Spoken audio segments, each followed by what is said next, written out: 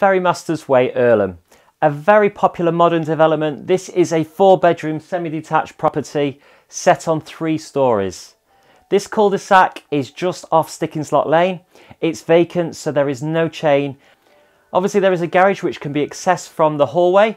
Bedroom four, which can be also used as a separate den or office space.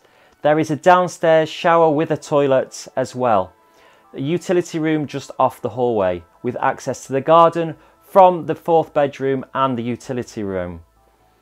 Onto the first floor and we have a large lounge with two windows to the rear of the property with nothing overlooking you at all from the rear as this backs onto the river. Kitchen is modern with a dining area at the front of the room with French doors that open up onto the cul-de-sac.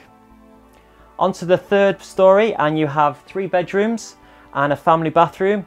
This is the main bedroom which also benefits from a ensuite. There are levels to the garden with a wood decking area which will be great in the summer and a lawn as well to the rear of the garden.